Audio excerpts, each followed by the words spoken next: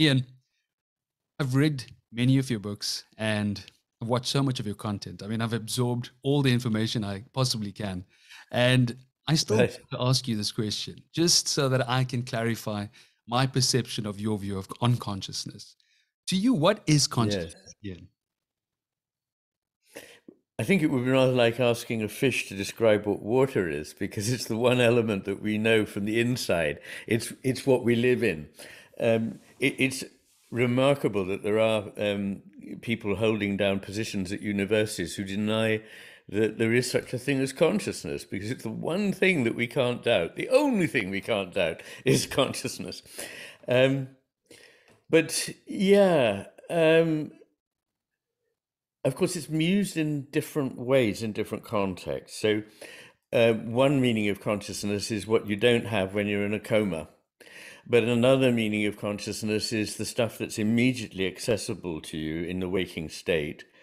And the rest of everything that you know is described as unconscious. But it doesn't mean that you are unconscious in the sense that you would be knocked out and on a bed in a hospital. So th- there's those different meanings. But I guess you're asking really about the the meaning of consciousness, uh, not in the sense of um, not being comatose, but in the sense of uh, having an awareness of the world, which is the the best way one can put it. Hmm.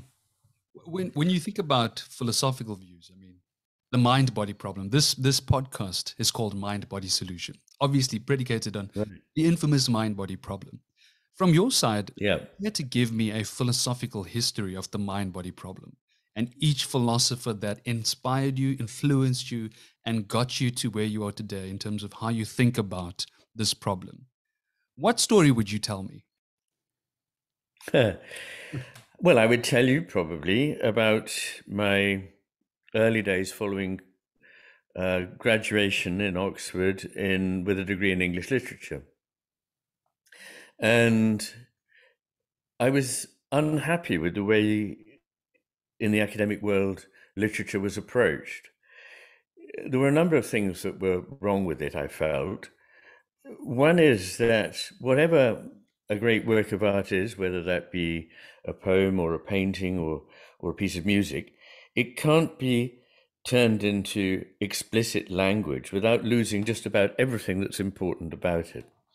And a number of the things that disappear are first all that is implicit and I became convinced that although people could uh, argue with me that uh, why should it be better to be implicit than to be explicit, that virtually everything that matters to us is only um, is, something we can deal with only in an implicit form. If we try to deal with it explicitly, we destroy it, rather like telling a joke and then having to explain it. Another thing about the work of art is that if it is a successful work of art, it's completely unique um, whereas the process of uh, criticism turned it into this body of thought here, this sentiment there, and so forth, which didn't seem to me to help. And I suppose the third thing was that it was embodied that reading a poem, watching a painting or a film or anything that is alive with um, meaning is an embodied experience. Music is a deeply embodied experience, obviously, but so is poetry. And when you read poetry, you find that your whole body is responding to it. Your your blood pressure, your pulse, uh, the hair on your skin may move, the, the, tears may come to your eyes, all kinds of things happen. Your blood pressure changes. So um, I thought, gosh, what's wrong with this is we've got to understand better what the relationship between mind and body is. And I had won a fellowship which allowed me seven years with no obligations to do anything, not to teach, uh, not to give a report on what I was doing, uh, not to publish, but just to think. It's an extraordinary thing. It, it, I don't know whether it still is like that, but it is the the, the extraordinary gift of a particular college at oh, Oxford All Souls College. Sorry, I said it sounds amazing. Yes, yes, and and uh, there, there are no students at this college; it's only fellows. So it's like a kind of uh, very extraordinary environment for people who need to think together and or think separately. Uh, and during this period, I went to a lot of philosophy seminars. One of my colleagues there was uh, Derek Parfit, which you you may know the name of. He was a very distinguished philosopher, um, and I listened to him and others in these seminars. And I felt that the point was somehow being missed because it was being discussed in an entirely disembodied way, uh, you know, in a seminar room, sometimes underground somewhere in Oxford. And I was thinking, no, this is not the way to understand this problem. To understand this problem, one needs to f- see it in practice, in experience in the world. And what that meant to me was to train as a doctor and to specialize in the area of overlap between neurology and psychiatry. Uh, at that moment, Oliver Sacks had just produced his great book, Awakenings, and uh, I thought it was well, it was for me life changing because I saw that actually what he did was to show how the mind and the body relate in these patients. How when they thought in a certain way, it changed their their physical symptoms. When they had physical problems, it changed their mentality, changed the way their brain worked. And also, he managed to do something else, which is very special, which is to take individual cases of patients and see the general in the particular. So that although these people were quite rounded out as um, pictures of individual people, he could make general points through that. And that seemed to me very profound. I'd found that Goethe is a great uh, exponent of this, that you can see the general in the individual, the unique and the particular. So, with all this in mind, I went off and I became a, a lowly medical student at the age of 28, which in England is unusual. You normally begin, begin medical school at 18. Um, but I think it wasn't a disadvantage because I approached medicine with, um, you know, an interest in philosophy, and that meant that when I was learning all this stuff that a lot of my younger colleagues just thought of as so much data, so many bits of information, it was building a picture for me. And out of that, and out of my experience in the borderlines between neuro- neurology and psychiatry, and a little of research and a lot of reading of other people's research. I finally came to an understanding of what I think and, and believe about that so called problem, the mind body problem. I say so called, by the way, because I don't think it's a problem. I, mean, yeah. I think it's only a problem if if you think in an entirely abstract way. Yes. But rather like consciousness only being a problem if you step out of it and think, "What the hell is that?" Get back in it, you know, and get back into the mind-body reality which we all live in. Mm-hmm.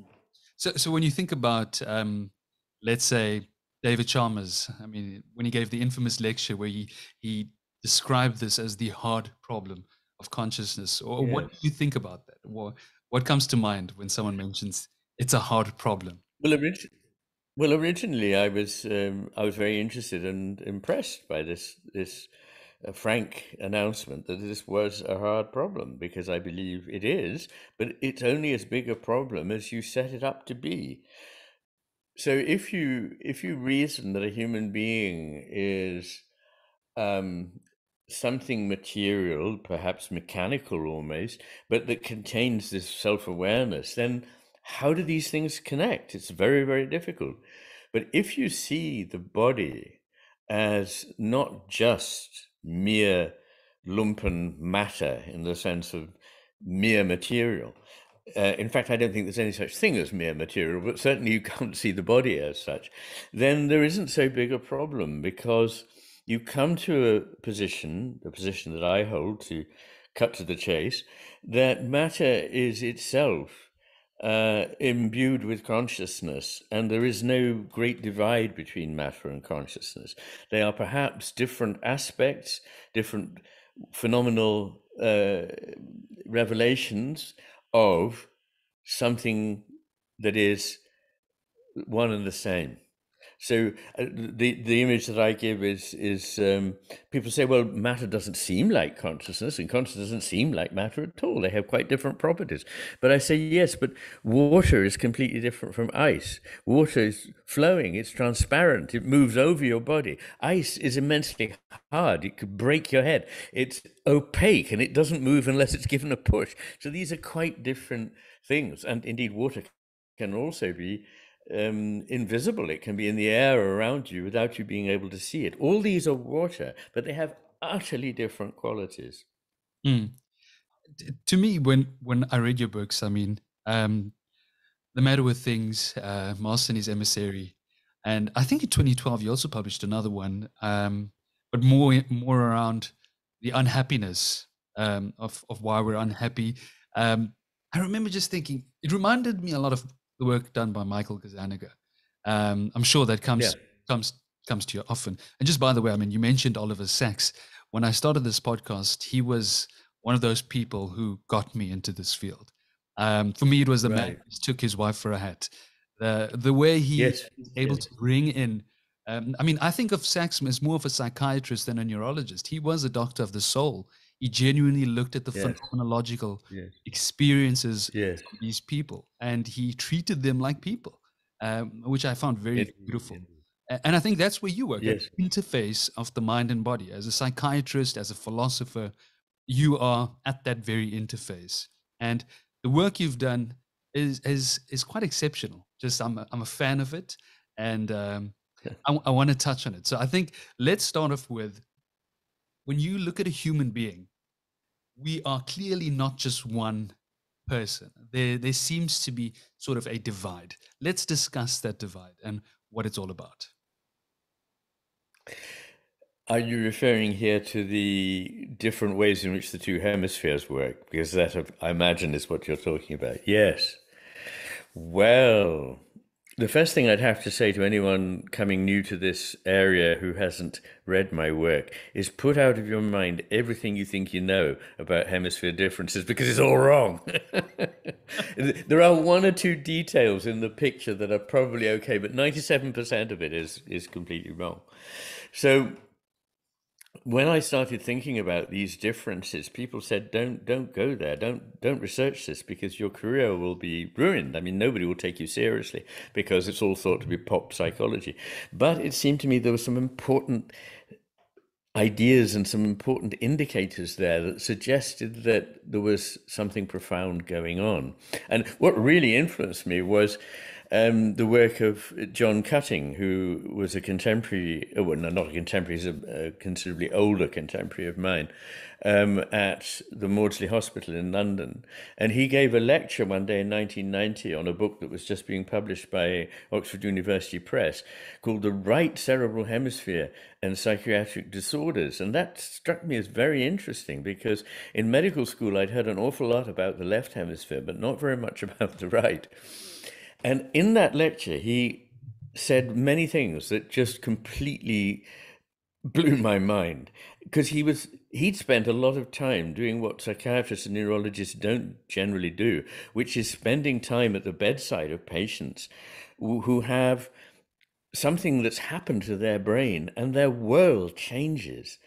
And it was this that he he let me see that when people have had damage to the right hemisphere, their world changes in a much more radical way than when there is damage to the left hemisphere. When there's damage to the left hemisphere, often patients, for the most part, they will have um, many of them certainly will have difficulties with speech, possibly with understanding language and they will have difficulty perhaps using their right hand. So this seems very important. But in fact, in terms of philosophical interest and what actually happens to that human individual, it's far less drastic than what happens after a right hemisphere stroke. The left hemisphere person, although they may be frustrated by not being able to use their hand in the way they're used to, not being able to speak in the way they're used to, they can be trained to those things, but their personality, their way of understanding the world is intact. But when something damages the right hemisphere, if it damages it badly enough, the whole of reality is changed. And one of the things that he said struck me as very relevant coming from this background in which I'd written a book called Against Criticism about what was wrong with the way in which we analyzed works of art. Um, he said that the right hemisphere was much better at understanding implicit meaning, such as is in metaphor and in poetry, as well as sense of humor, uh, puns, jokes, sarcasm, irony, all the ways in which we express ourselves more flexibly with implicit meaning, not just explicit meaning in the way that a computer would understand it. And then he said, the right hemisphere is more connected with the body in various ways. It's in the right hemisphere that there is the so called body image which, as you know, is not a, an image just in a visual sense, but a, an image of the body in all modalities. And it has closer connections between the frontal cortex and the cingulate cortex and parts of the limbic system, which means um, for the layman that there is a closer relationship between thinking and feeling in the right hemisphere than there is in the left. And it also has a powerful effect, the right hemisphere, on the autonomic nervous system, uh, probably a more important one than the left hemisphere. So in all these ways, it's, it's dealing with the embodied. And then, he said, and the right hemisphere understands a unique person, a unique case, whereas the left hemisphere tends to almost immediately want to categorize. So it takes the general out of the unique and puts it in a category, whereas the right hemisphere remains with the uniqueness. So, of course, these were the three things that I had isolated as being the problem with the disembodied way in which we practiced the business of approaching works of art and indeed life, and that these things were to do with the right hemisphere. And after that, there was no going back. I mean, after I heard that, I knew that my life was going to be looking into this fascinating question that everyone had just dismissed Mm. And the reason they dismissed it, as you know, is that people used to say very simplistic things like that um, the left hemisphere is unemotional and the right hemisphere is emotional, that the left hemisphere is rational and the right hemisphere is irrational, and only the left hemisphere understands language and the right hemisphere doesn't, and things like this. But as you know, because um, you read my books, in fact, both hemispheres are involved in everything. They're involved in reason. They're involved in emotion, they're involved in language, just in a reliably different way. And it was what that difference was that I wanted to investigate. So I set about um, setting aside time for myself to, to research it. I went to the Institute of Psychiatry, it's the big um, research centre for psychiatry in Britain, uh, joined to the Maudsley Hospital. And uh, really people wanted me to do very uh, uh, they wanted me to join somebody else's research team and do things like clone the p450 receptor which is no doubt a very fine thing to do but it wasn't actually a, an effort to address the problem that philosophically drove me. And so i decided i'd have to do it myself really. So between my patients and reading and a bit of research which i did at johns hopkins on asymmetry in the brain and in schizophrenia I began to put together a picture that made sense. I mean, it makes so much sense as well. But f- for for those people who haven't read it, um, you, I'm doing. There's even some really cool videos online. I think I watched one of your animations a while back where where you're explaining this, and I think it's were you giving a lecture during that time, and someone had just made it an animation because you hear the crowd laughing. Yes, it was. yes, yes, um, it was uh, less than a year after the publication of The Master and His Emissary, so in 2010, I gave a lecture to the RSA, the Royal Society of Arts in London. Um, and there is an animation, you're quite right. The lecture lasted about half an hour and then there were Q&A. But what the animator did was take 10 minutes out of those 30 minutes and illustrate it with, I think, a very witty cartoon. And, you know, to begin with, um, Jonathan Rowson, who was the head of the Social Brain Project at RSA, said, you know, we'd really like to do an, an, an animation. And I thought, oh no, um, the last thing I want is to be labeled as this man who still believes in hemisphere differences. And there's a cartoon out of it as well. And that would just sort of dumb the whole thing down. But he persuaded me that the man who was their animator uh, really understood the book, had read it and really understood it. And so I said, yeah, go ahead. And it it's been wonderful. It's gathered so many views. I mean, it, it's it's so informative. It gives you such great insight into where you're coming from, what your views are, but it does do it doesn't do any justice to your actual writing i mean you if you read the book there's so many times well while reading it where you're blown away by something that you say perhaps a sentence or two and and and often it's like or just a general statement that you're making that's very mind-blowing to to someone who studied i mean when i studied medicine when we learned about the brain there were so many misconceptions um, that i look back and think about right now that i've learned and studied as gospel this was the truth. And then to to to find out from another researcher like yourself uh, that it's not the same way that we even learned it in med school. I mean it, it's it's quite frightening actually. Yeah. Psychiatrists yes, yes. Uh, I mean, and even some of the average psychiatrists i think about don't know about a lot of the work that you've done and a lot of the things that we figured out today um, in terms of the differences no, no. let's let's talk about how the, the, i mean the left hemisphere is is looking at things very very specifically it's honing in and it's and it's really looking at detail whereas the right is is looking at a broader perspective. I mean, you use one of those infamous uh, sayings with the net. Let, us discuss these different differences in more detail. Yes, okay. Perhaps it's worth saying that every every brain, every neural network, even back to the most primitive organisms that we know, uh, a creature, sea creature called Nematostella vectensis, which is 700 million years old. Already, the neural network, which has been described as the origin of what would later become our brain, is asymmetrical. Why? Why should the brain be asymmetrical? But it is. Our brain is not the same in the left hemisphere and right hemisphere. If you look at it, if you measure it, if you weigh it, if you photograph it, never mind if you start to work out the ways in which it's functioning. So its structure is different and its functioning is different. And there's a big divide, you know, between these two hemispheres with just a, a sort of band at the base that connects them. Only 2% of all neurons actually cross from the right hemisphere to the left or from the left hemisphere to the right. Why set up a system where you're keeping things apart? This was the, the question that really uh, got me going. Um, and I I reckon that, in fact, every creature has to solve a problem if it's going to survive, and that is how to get stuff, get food, pick up a twig to build a nest, whatever it is, grab hold of something that is of use, and yet keep out at the same time the broadest possible attention for a predator. Or for, in fact, for your mate who, who you should be sharing the food that you're trying to get with, or whatever it is. But one hemisphere, and it is the left hemisphere, certainly in humans and in most of the animals that we've looked at, is the one that is, as it were, in the service of the predator in us, the one that enables us to grab things. Um, you know, eh, for listeners who I don't know whether I imagine all your listeners are, if they're part of this series, they will know a lot about this. But it's the left hemisphere that controls the right hand, with which, for most of us, we do the grabbing. Um, so it's that's the the, the, the idea about the left hemisphere is that it is very narrowly focused and it attends to something that you've already prioritized as important. I need to get hold of that seed ahead of that bird. I need to catch that rabbit or whatever it is.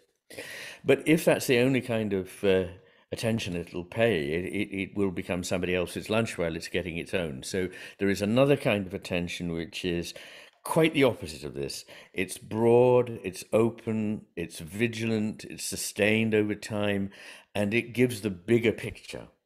And you can't do both these things with the same neural neuronal mass. You can't dispose that consciousness towards the world in two different ways. So the solution that nature has come up with is two masses, each of which can sustain consciousness separately, and each can take a different view of it.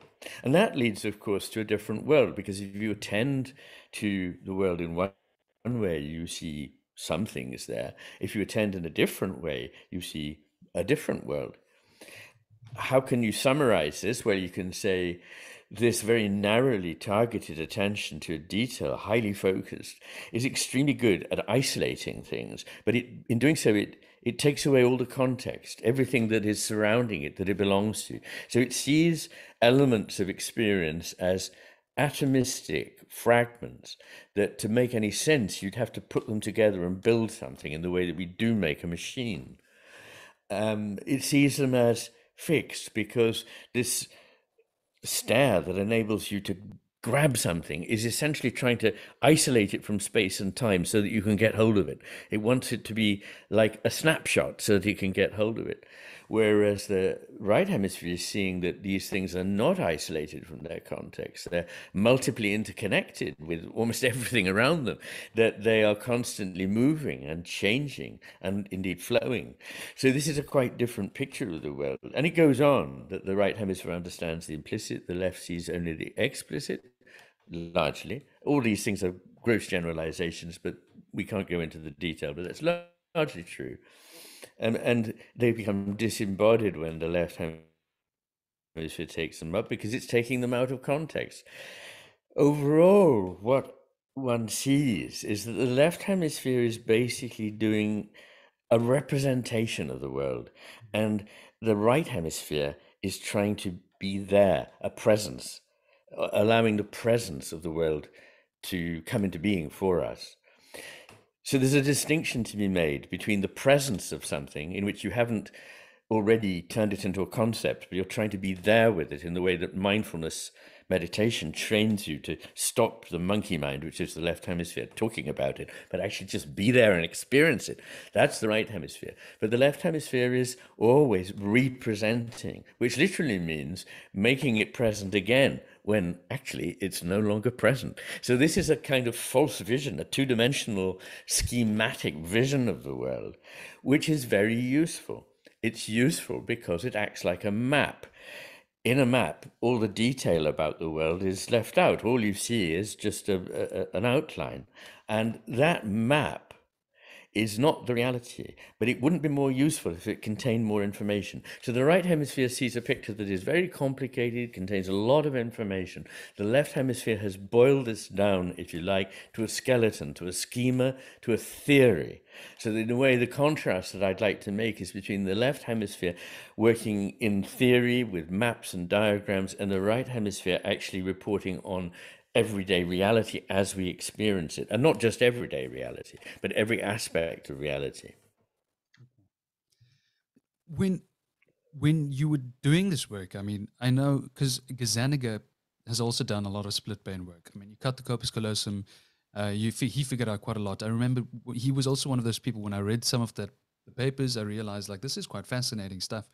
Um, but his work, I remember in Frankish's illusionism as a theory of consciousness. I mean, he got together a bunch of papers Daniel Dennett, Susan Blackmore, and Nicholas Humphrey, Gazzaniga.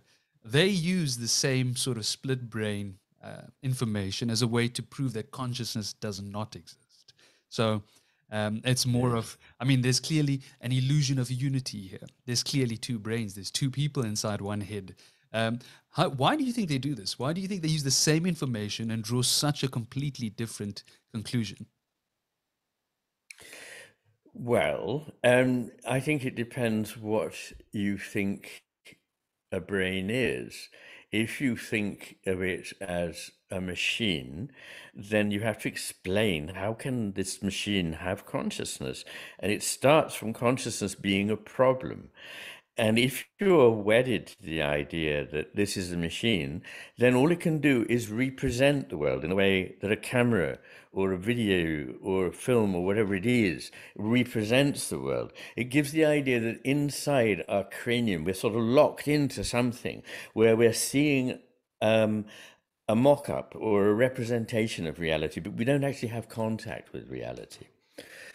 Whereas if instead you don't problematize consciousness, but more problematize matter, then you see that consciousness is a primary element of experience. We can't have experience without consciousness, and we can't know anything without it coming via our consciousness.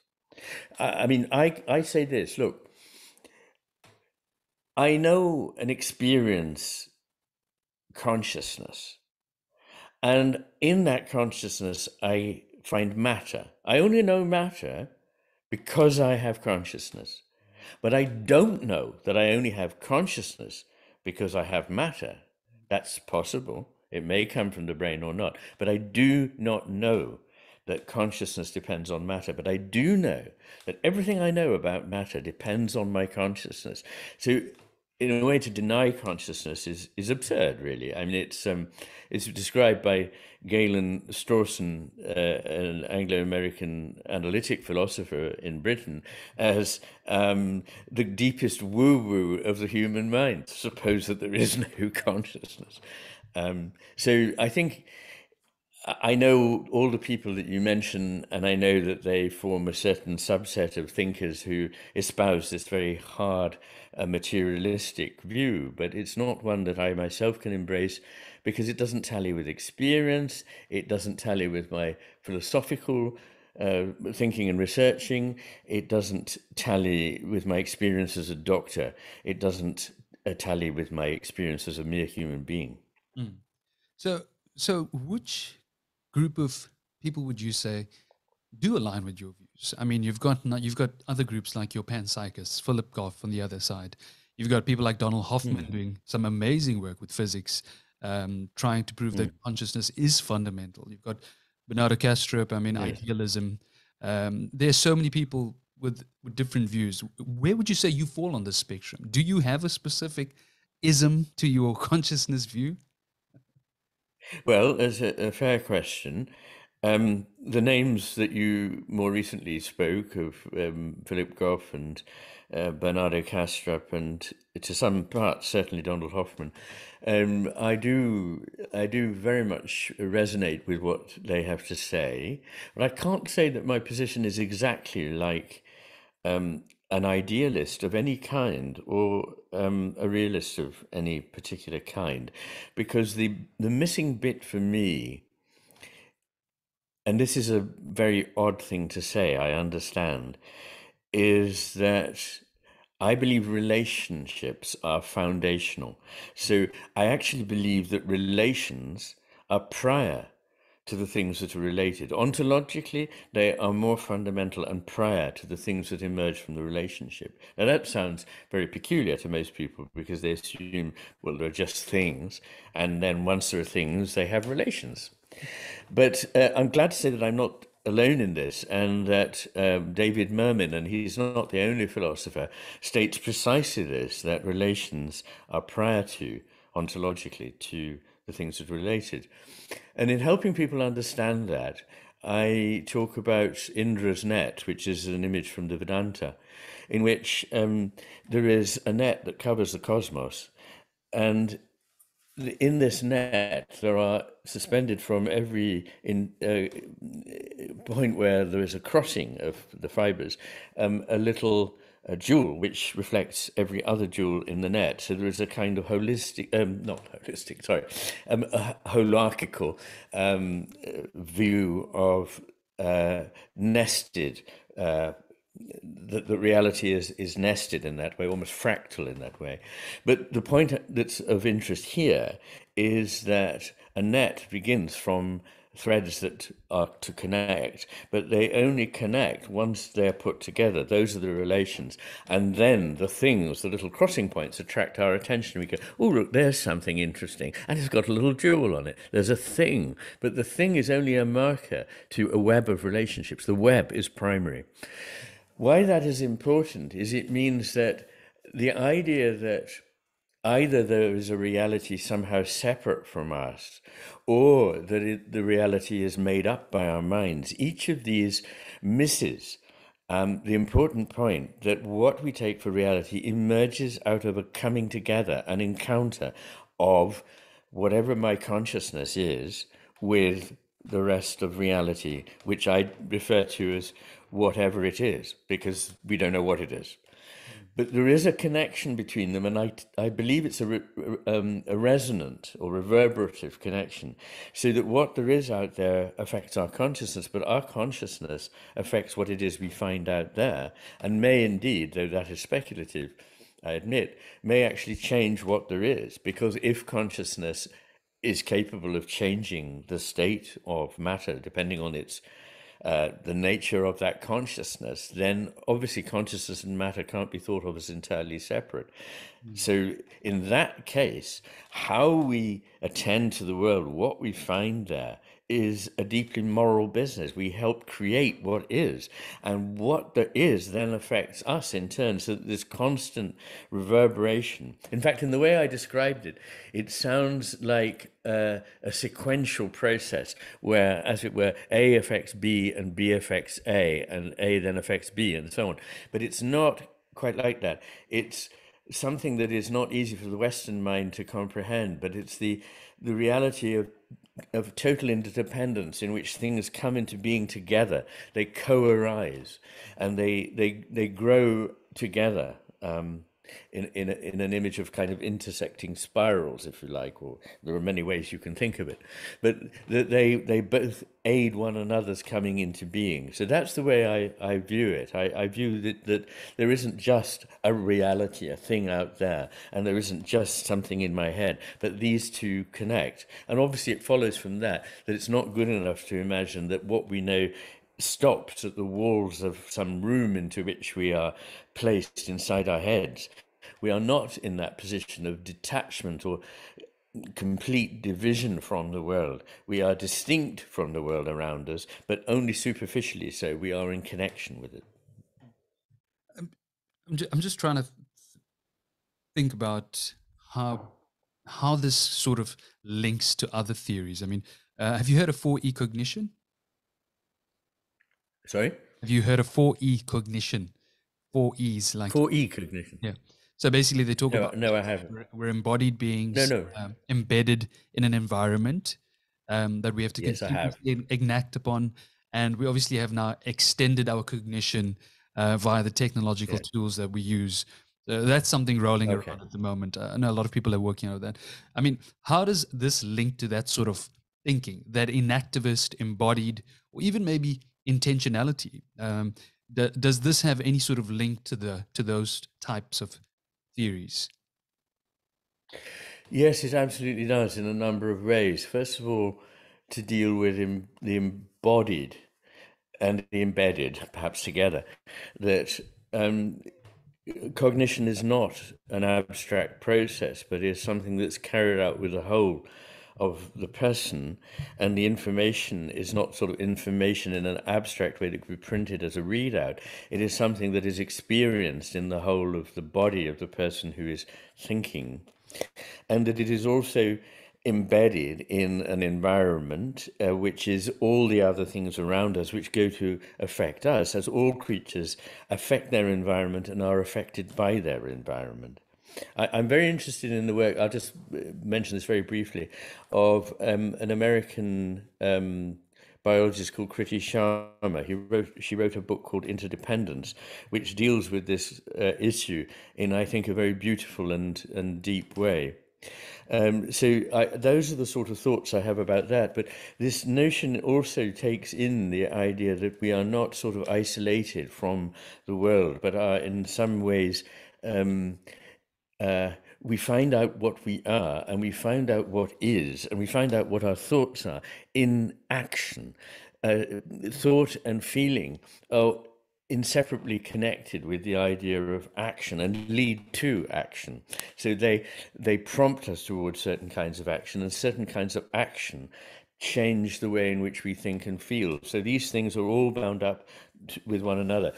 I one of the many things that I invert in the book, The Matter with Things, you know, in the very first few pages, I say that we we think of things in one way, but I think of them in another. Well, one of those examples is motion. So that in the Newtonian universe, the um, the, the, sort of uh, the the, the um, original state, if you like, um, the untouched state, is one of um, immobility, and it, something has to come along to set it in motion. But from what we know in physics now, we know that nothing is ever fully static. There isn't anything in the cosmos that is entirely static. And in fact, if it could be achieved, which, as I say, it can't entirely be achieved, it would be um, the state of stasis that would have to be explained, not the existence of motion.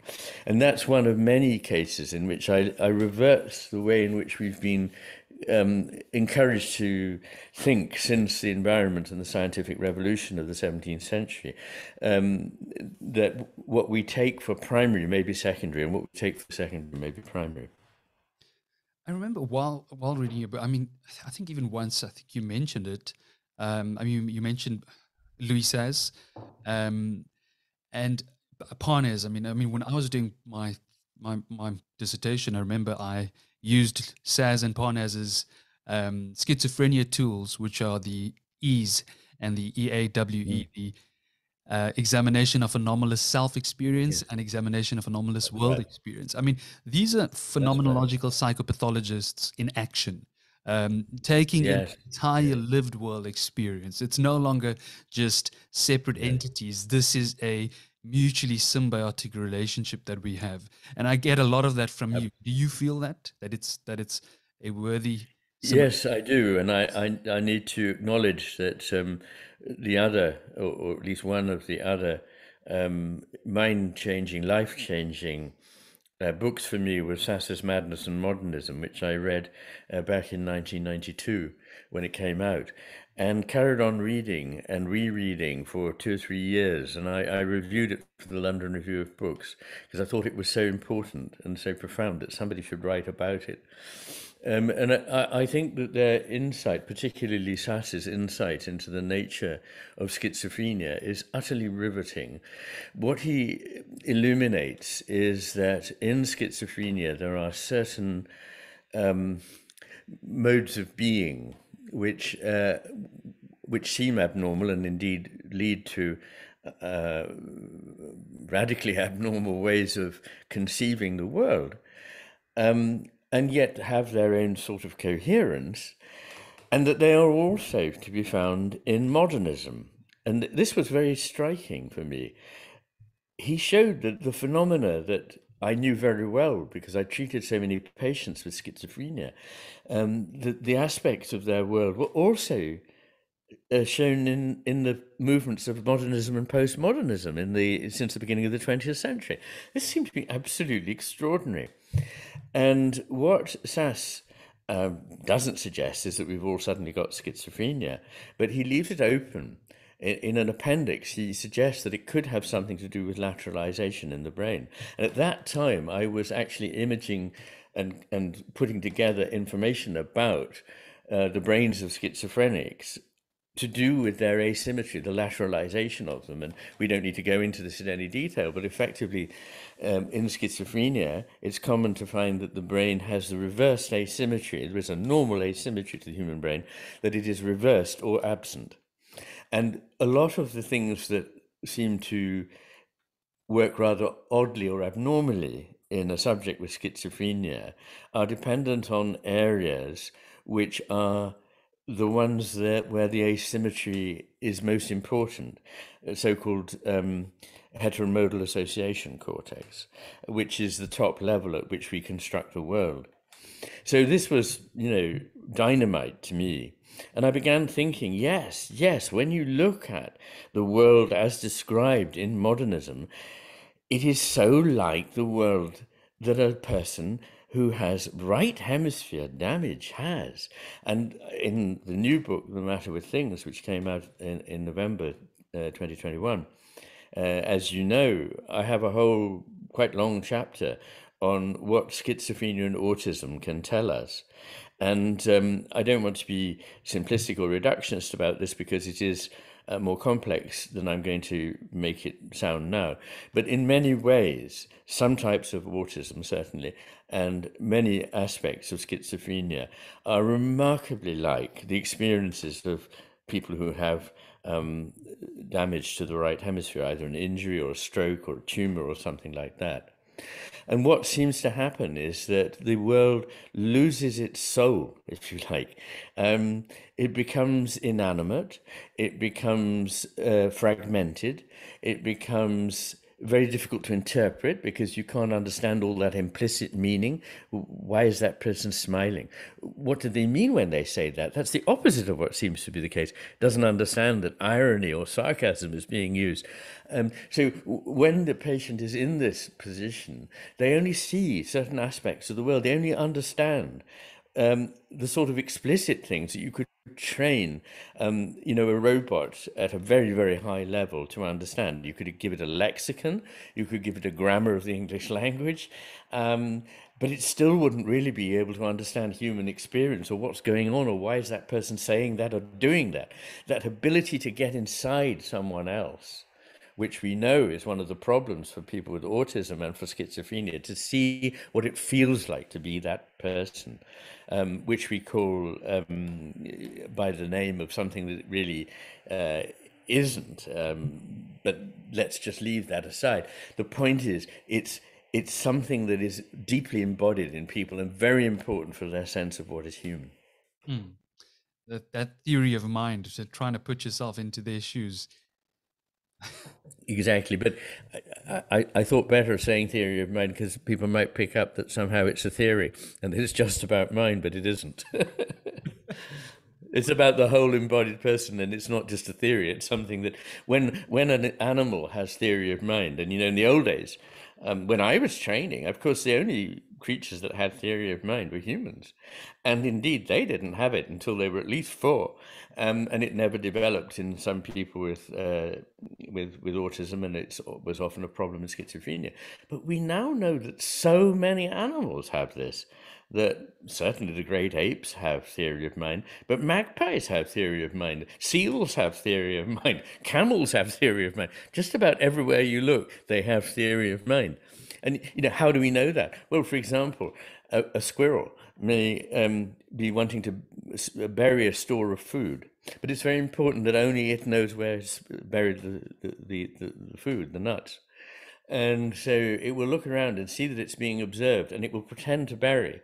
And then it will wait until whoever it is has gone away and then bury things somewhere else. Now that shows that that squirrel is able to see that what the other squirrel knows is not the same as what I know. And that is the, that is the basis of theory of mind. And it's quite a sophisticated um, thing to have developed.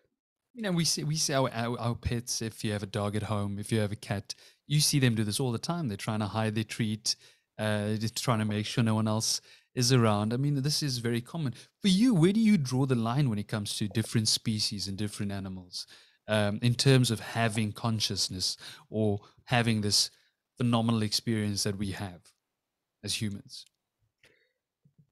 Well, to put it briefly, I don't draw a line. Mm-hmm. I don't think there is a line there uh, between some animals and some others. There's only a continuum. It's all gradual. There isn't a hard and fast categorical difference at any point. And I think the evidence suggests to me that consciousness goes a very long way down, as we say, considering ourselves a long way up in the tree of life. And in fact, uh, you probably know uh, that in chapter I think it's 25, where I deal with matter and consciousness, which is quite a long chapter. It's the length of a short book in itself. I suggest that we need to see that consciousness can be present, not just because of something that has evolved. It can't have evolved out of matter that was wholly unconscious. People say it emerged, but it, to me, this is sleight of hand. What it is really doing is saying there's something goes on between these two completely separate compartments matter that has no consciousness and somehow matter that does. And I'm just going to put a black box over it and go, it emerged. But as far as I'm concerned, that's like saying, and a miracle happens here. Uh, so I, am not convinced by this. And in fact, you you you mentioned the names of um, people who are panpsychists. And I am a panpsychist, at least in the sense that I believe that spirit, soul, matter, con- matter, and consciousness are not somehow derivable from something else. That the consciousness that we experience is not uh, derivable out of something utterly different that has no consciousness. You can't posit that. Mm-hmm. You can only posit that consciousness actually evolves in the sense that it's always been there in the cosmos and it takes certain forms as life evolves. And I'm not on my own in saying that because in the Oxford Companion to the Mind, um, edited by um, V.S. Ramachandran and Colin Blakemore, who are two distinguished neuroscientists, very much mainstream, they say on this matter that we may have in the end to accept that consciousness is something that is an ontological primitive. It is it is something that is part of the building blocks of the cosmos, and you can't get behind it and find what it comes out of because it's from it that other things come. I, I like that VS. Of course, that's in. Sorry, sorry. Continue. No, I was just going to say, and of course, as we get there, and as we get into many of the things that I found followed from neuroscience and philosophy and physics for that matter, we come towards a world which looks much more like that described by the great wisdom traditions, uh, particularly the East, but also the West. I mean, I love that you do that as well in your book. I mean, you look at it from the, the best neuroscience, best philosophy, the best physics, and you try and combine these three fields because these are the fundamental, I mean, fields that are looking into these topics. These are the ones searching. Yes. In line with that, I mean, we've got some physical theories, like I mean, I mentioned Hoffman before, but we've also got some other physics, materialistic theories that are similar to panpsychism, but not really. If you look at I, IIT, um, integrated information theory, I mean, it's taking consciousness as being fundamental and then working its way up. What are your thoughts on that? Well, the kind of consciousness that I am talking about at the level of a piece of metal or a piece of stone is something completely different from the kind of consciousness we we think of when we talk about our own consciousness. And you may well say, well, in that case, why call it consciousness at all? Partly because awareness seems to be important at the level of the most basic building blocks in physics. One of the most extraordinary findings of modern physics is that we cannot separate consciousness from matter. We have to take it into account. I know there are uh, some physicists who would deny that uh, because all these areas are extremely difficult to understand. And of course, there are many different theories, but there are enough very high level physicists who take that position. And I would say it was probably the normal position um, in, in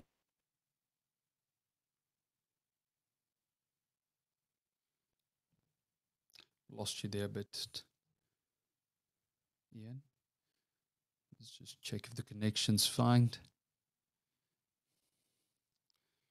I'm to send you a message, Iain. I think I've lost you a bit.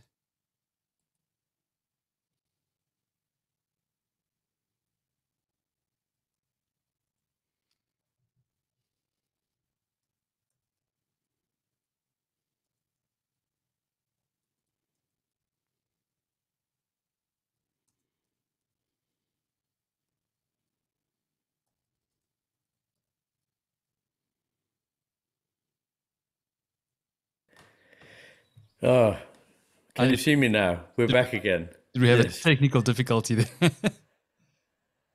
I d- I don't know what happened there.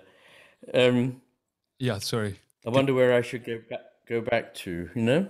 Um, what, are you, sorry, I was trying to figure out what was going on. I sent Mary a message saying, Is Iain still alive? oh. Just to make sure. Um, I have no idea, idea what happened there, except except that I've been uh, on one Zoom or another pretty much all day, and maybe the machines has got tired of it. no, um, I think you were talking about consciousness and AI. Oh yeah, no, so no, no, so so what I wanted to talk about actually was IIT and consciousness, um, and and how that theory sort of okay. is it similar? What's the link to panpsychism and perhaps uh, to how it relates to your view? Sorry, so you're using IT to mean what? Then? Oh, sorry, I like inter, integrated information theory. I'm not sure if you're familiar with Christoph Koch. Oh, Christoph Koch's work. Oh, I am. Yes, yes. Okay. Because because what IIT yes. is well, consciousness to be fundamental, and they use pi I mean, sorry, phi, um, and as the amount of consciousness for each thing, and they give each thing a level of phi as conscious as they give consciousness its fundamental nature and reality. Um, you're not doing that, and I get that you're not doing that, but I'm just trying to figure out what are your thoughts on that theory in general. Well, uh, to, to, be honest, I don't know it in enough detail, really. To I have read Koch, um, but it, it didn't appeal to me at the time, and I haven't really thought about it very much since. Um, I thought there was a, essentially a problem of um, attempting to explain how something comes about due merely to complexity. Uh, uh, am I right that that's part of the the yeah. theory that I think he's trying to take yes. a reductionist, but he calls it romantic reductionism. So it's a it's still still a very good search, soul searching uh, search for consciousness using reductionism, uh, biological reduction. Right. Yeah. Okay. Uh, I, I'm not sure quite what the advantage is in using that because biological reductionism is a very particular way of thinking, which is in fact um, for me, uh, the exact expression of how the left hemisphere would try to understand life. It would uh, try and break it down into its basic parts and see how they relate and reconstruct it like a machine. But there's nothing mechanical about an organism.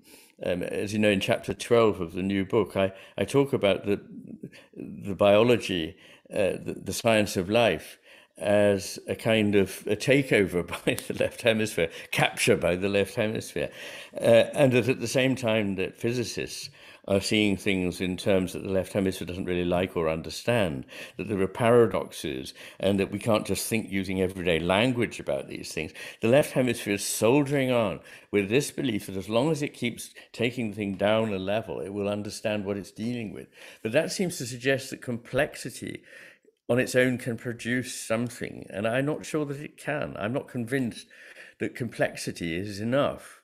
I mean, to give a very simple point, and one that um, you know I'm sure that there are answers to, but the complexity of the human um, neocortex is is enormous, but the complexity of the cerebellum is much greater than that of the cerebrum. In fact, it contains four times as many neurons.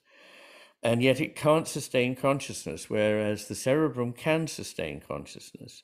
Even one half of the cerebrum can sustain consciousness. Even part of one half of the cerebrum can contain consciousness. so you're getting down to something very small, whereas something that is enormously rich and complex can't necessarily sustain consciousness. I mean, it might be said, well, you know, quite probably in the cerebrum, there are far more interconnections than there are in the cerebellum. But I'm sorry, that's not a neurological finding. That's uh, not not the true neuroanatomy. In fact, the, some of the most complexly interconnected neurons, Purkinje cells, are peculiar to the cerebellum. So. Uh, that would be part of my response to that. But I, you have to understand that I haven't really studied their theory in any great depth. Mm. No, no, I completely understand. I remember, as you mentioned, V.S. Ramachandran. Uh, I, I love the way he calls the the right hemisphere the devil's advocate. Um, mm. it's very, very intriguing because it, it basically is. It is. It's the one that's going to let you question a little bit more. Uh, don't yes. don't be so sure on your environment. Uh, have you have you guys discussed this ever? Like wh- when you guys talk about this and you talk about the way people are perceiving things, well, I mean, what do you guys chat about? How do you guys come about? Uh, well, discussion. I mean, I can, I can imagine the two of you having some very deep chats.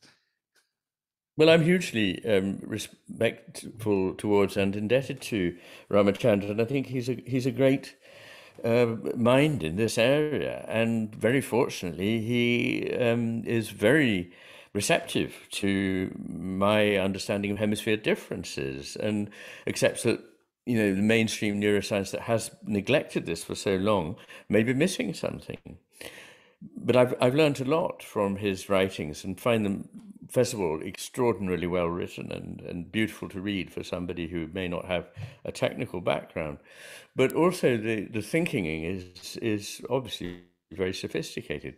And what he points out, and which I completely agree with on the basis of everything I know, is that the right hemisphere is the one that deals with the more complex situation.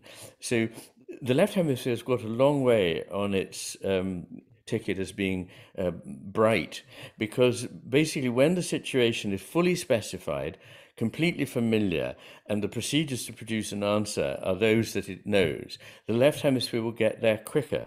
And the reason it will get there quicker is that the right hemisphere takes that little bit extra time to go, yeah, but it may not be like that. It is the devil's advocate. When the left hemisphere is busy jumping to conclusions, the right hemisphere seems to be aware that jumping to conclusions is extremely serious. And interestingly, people who have right hemisphere damage and people with schizophrenia tend to jump to conclusions. And this business of jumping to conclusions is something that Michael Gazzaniga also pinpoints as the reason that the left hemisphere makes mistakes. It's too ready to bring out a little version of its own of, of what's happening, but the right hemisphere is more skeptical. And that's not what most people, like none of the things I would say about the differences between the left and right hemisphere, it's not what the the bad old um, caricatures suggested. They suggested that somehow the right hemisphere was this oh laid back, take it all easy kind of hemisphere that jumped to conclusions and didn't do its homework. But it's really the other way around. Whenever we jump to a conclusion, we're exercising the left hemisphere, um, not the right. And it's the right hemisphere which actually also is more inhibitory of going down a path that may not be uh, productive of inhibiting the levels of emotion, uh, which is something that people don't think. They think the right hemisphere is the more emotional, but it is actually the more emotionally sophisticated, which is not the same thing as being over emotional. The left hemisphere can have um, quite great uh, um, storms of anger and uh, irritability and uh, is also related to the sense of disgust. So things that disconnect us from and and push the blame to something else, the left hemisphere is quite good at. That's part of its whole view, if you like, of um, the world. That uh, the problems don't lie with the left hemisphere; they lie somewhere else. Um, I don't want to divert too much from what we're talking about, but I'll just mention the quite extraordinary fact, in, in, case people are not aware of this, that when people have a right hemisphere stroke and the whole left half of the body may be um, immobilized and paralyzed, uh, the person may completely deny that there is a problem. And if you point out that they can't do something with their hand, they say, oh, not my hand. Whose hand is it? Well, it belongs to the person in the next bed, or it belongs to my son, or it belongs to you, doctor, but never belongs to me because it's not working. And everything about me works very, very well. So there's a huge difference in this insanely and inanely optimistic self view and view of the world by the left hemisphere and that of the right, which is much more realistic and perhaps a little more downbeat, but gets close to reality. So, um, where what I'm coming to is this idea that um, the, the, the jumping to conclusions, the the ability to um, simplify, is the left hemisphere's way of doing things. It wants a fairly simple schema to work with, and it doesn't take into account the nuances, often which are implicit in the world seen by the right hemisphere. So I had an exchange with um, Dan Kahneman after uh, somebody wrote to uh, me and to him, I think, saying, uh, "Is your system one uh, basically the right hemisphere, and your system two, the more deliberative system, the left hemisphere?" And what we agreed was that it, it wasn't a left-right thing; it was to do with a different, um, if you like, pair of opponent processors. The uh, more superior or upper parts of the brain and the lower or more ancient parts of the brain. Uh, so that's right. But if anything, uh, since the uh, quick and dirty response is what the left hemisphere uh, tends to go for, the left hemisphere is more like Kahneman's system one, and the right hemisphere um, which is much more subtle in its thinking altogether and takes into account so many more options, is more like his system two. Mind you, I don't buy the system one, system two thing anyway. I just think it's too, it really is simplistic. yeah.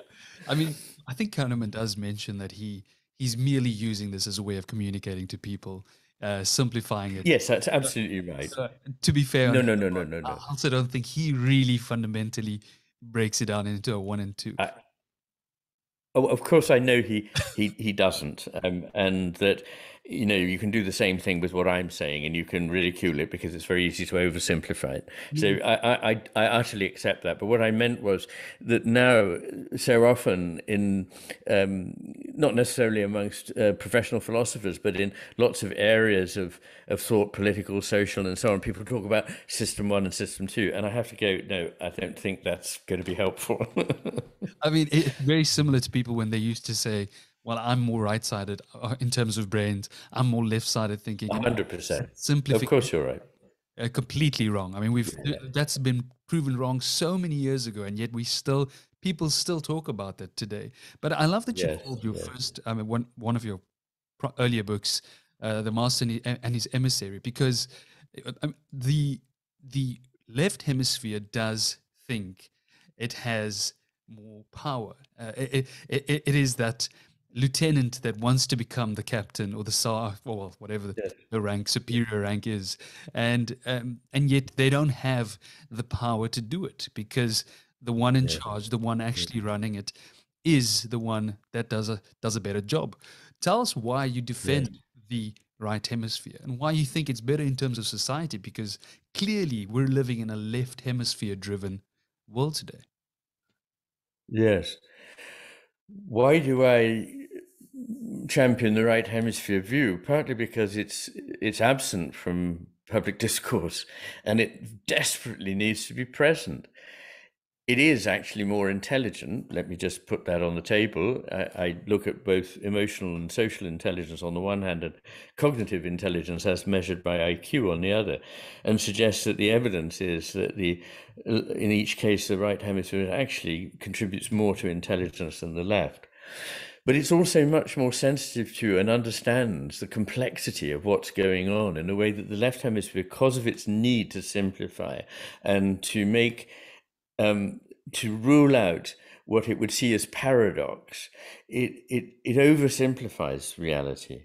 We know from physics that there are many paradoxes, and we know from the wisdom traditions that there are many paradoxes that I was aware of this. Uh, don't mean to sound as though I was um, suddenly gifted at the age of 14 or 15, but I remember thinking, you know, about something as simple as politics, that when you push too far towards the left or the right, you reach the same place, really.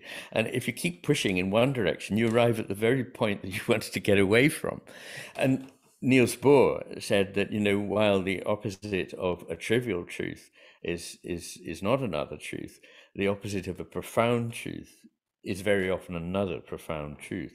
Now, if we bore that in mind, we wouldn't make the simple minded dichotomies and um, plans for action that we do, in which we push always something has served us well for a short while in a certain direction, but let's just keep pushing and pushing until it becomes insane and we, for example, push for freedom and produce tyranny. You know, we push for um, hygiene and we create vulnerability to infection. We push for um, education, educating our young in some way and result in sort of uneducating them by teaching them not how to think, but how to absorb whatever information is currently in the zeitgeist. So all these things, uh, and I deal with loads of them right at the end of the book, suggest that we need to stop this purely selfish grabbing mentality of the left hemisphere. I mean, it is, it is unabashedly selfish. Um, when it comes to looking at morality, as I do,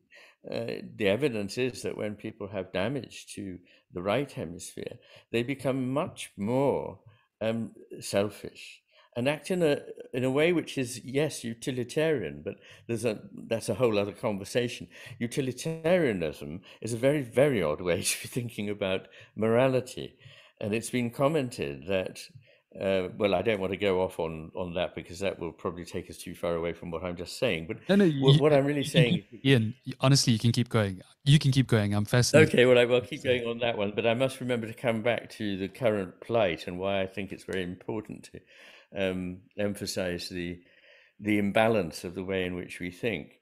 Um, on that point, when people have um, right hemisphere strokes or indeed frontal damage to either hemisphere, um, what happens is they tend to evaluate moral uh, dilemmas in a purely utilitarian way. Mm. So, utilitarian uh, assessment of a, a, moral outcome is associated in uh, in neurology and psychiatry with with brain damage and inability to use part of the brain.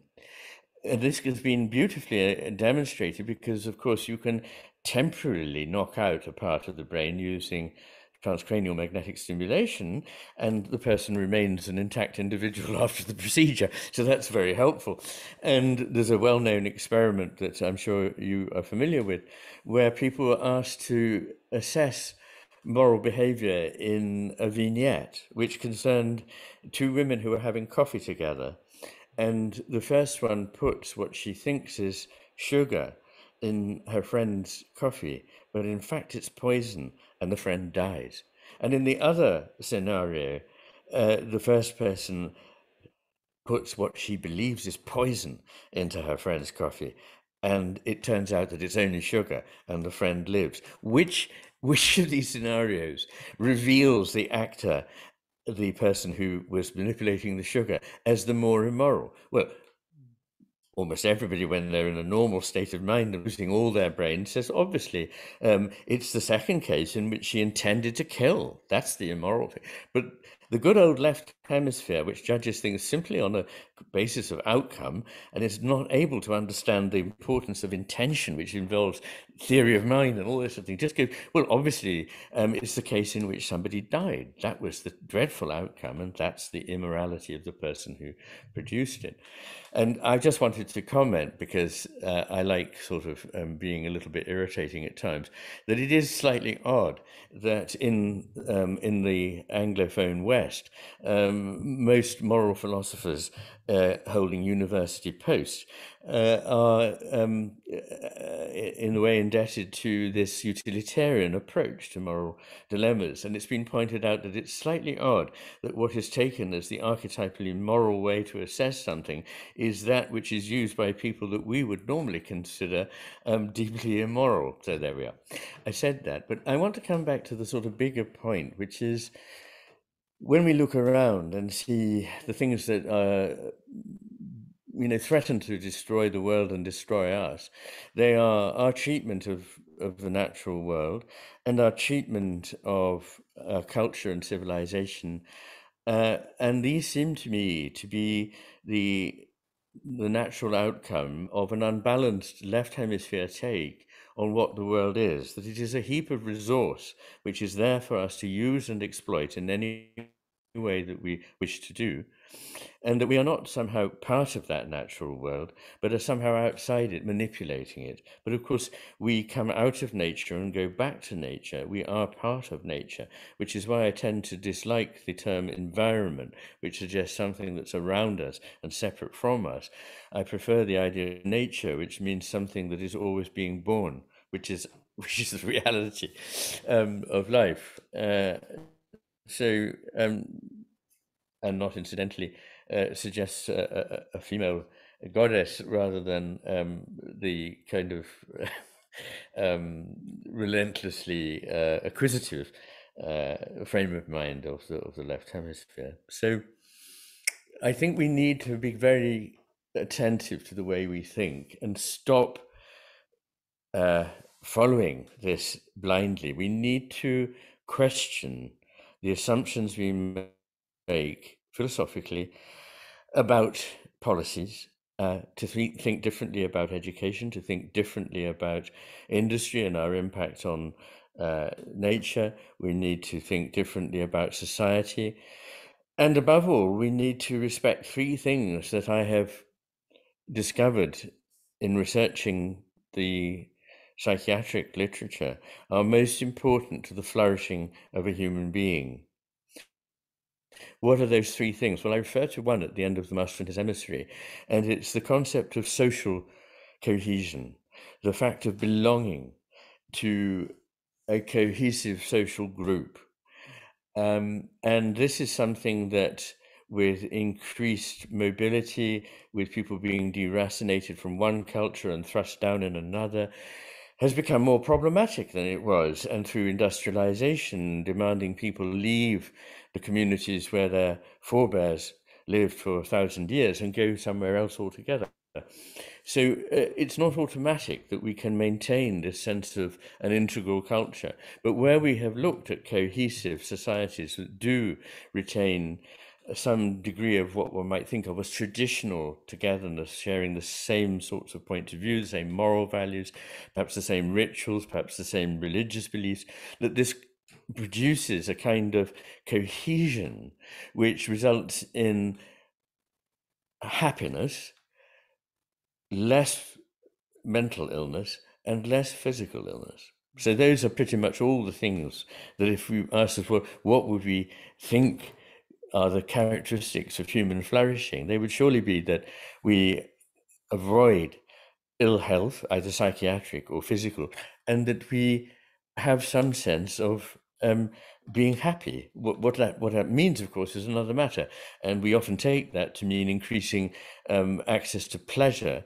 But uh, as of course you know, there is something called the hedonist paradox that means that when you pursue pleasure, you don't actually find it, and it comes as a byproduct of forgetting yourself and being um, involved with other people. So that's one is social cohesion. But I just want briefly to mention the other two. The first is distance from nature.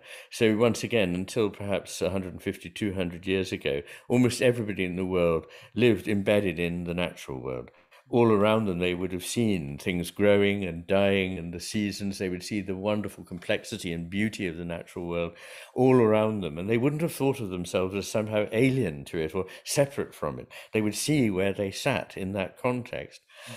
And we now know, and there's a huge literature on this, that alienation from the natural world um, causes unhappiness, causes um, uh, insecurity, aggression, uh, cognitive uh, impairment, uh, mental health problems such as depression, anxiety, stress disorders, and actually also, like social cohesion, has an effect on physical health. So that being deprived of nature uh, is one of the things that actually causes one to have a higher risk of things like heart attack, stroke, and so forth. And that actually spending time in the natural world has beneficial effects on your cognition, on your mood, and on your physical health, equivalent to stopping smoking and going to the gym several times a week. And this is also true of the last of these, which is a connection to a spiritual realm, having a vision of, of the world which goes beyond the uh, merely materialistic. And I say merely materialistic in two senses. Uh, there's also, the first of all, the obvious sense is just materialistic, but also a view of material as just material. There is nothing just about the material world, if you like to put it that way. There is nothing simple about matter. Matter is as complex as consciousness, and uh, in my belief, is bound up with it, as I, I may have mentioned. But in any case, there is a vast body of research that I only discovered in the last year or two because I hadn't really reflected on it very much, which shows that once again, um, characteristics of personality, uh, of, of mental well being, um, of physical well being are promulgated and enhanced in, uh, in communities where one has um, a sense of the spiritual beyond the, the purely immediate world and uh, that alienation from that causes um, harm in various ways. So those three things we've cut ourselves off from, and they're not exactly what the left hemisphere would have seen as important because they're all to do with networks of things that are not just my needs, at least in the initial phase. Uh, and that involve understanding that there are lots of implicit sources of meaning and fulfillment in the world and are not the obvious ones. The left hemisphere is dealing with the obvious, the crude, the simple, the basic. It doesn't know what it is that it doesn't know. And like people who don't know what it is they don't know, it thinks it knows everything. Mm. There's a phenomenon in psychology, I'm sure you know, called the Dunning Kruger effect, which basically means that people who don't know much think they know everything, but people who know a lot feel that they don't know anything because they know the extent of what they don't know. And that takes us back to this idea of the master and the emissary.